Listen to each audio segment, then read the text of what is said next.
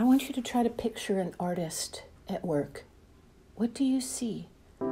Maybe a painter standing in front of an easel, paintbrush in hand? Or maybe a, a sculptor chipping away at a block of marble to reveal a form within. Y- you know, in Ephesians chapter 2 verse 10, it says that you are God's masterpiece, God's work of art. And here's what's so interesting about that to me. The Bible doesn't compare us to a painting or a sculpture. The Bible says that God is like a potter and we are like clay. In the book of Genesis and in Isaiah, and again in the book of Romans and in Corinthians and in the letters of Paul to Timothy, Scripture tells us that God is at work in our lives in the same way that a potter works with clay. It says that we are all, every one of us, the work of God's hands. Now, what is it about potters and pottery and clay that helps us to understand what God is like? When you when you picture it, when you see a potter sitting at a potter's wheel, you see how the potter sits down and settles into work, how close they are to the clay, and how involved they are in the process. God came down from heaven and went to work right there in the midst of us. And that process, that work, it's messy. Our, our lives are messy. And right there in the middle of that mess, God draws near. It, it's like this. I mean, imagine what that potter looks like when they've been working on the wheel for a while. Clay, it gets all over the place.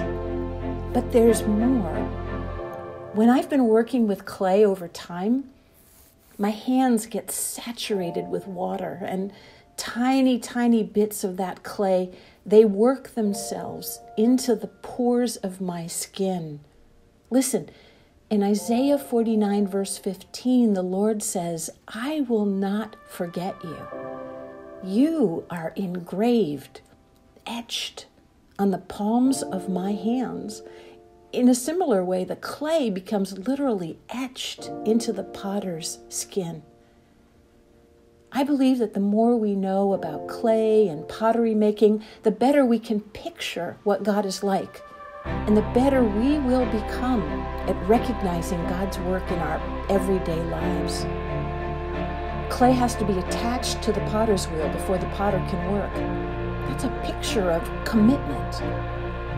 Clay needs to be centered on the wheel, the, the heart of the clay lined up with the heart of that wheel. That's a picture of focus.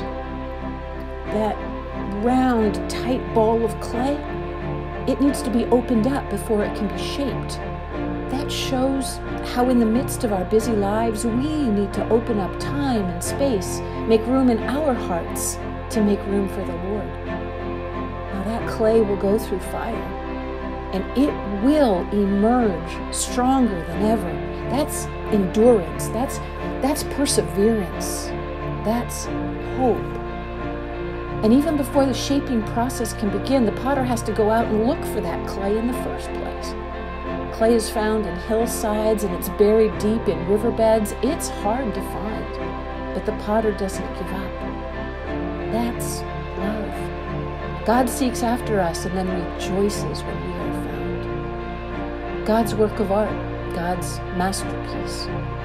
God at work in the mess and uncertainty of our lives. And whether you can see it right now or not, that's okay. God is in the midst of us, and He cares about everything that concerns us. God is at work, equipping us with new strength, with connection, commitment, perseverance, with hope. Lord, it is true. Lord, give us eyes to see it.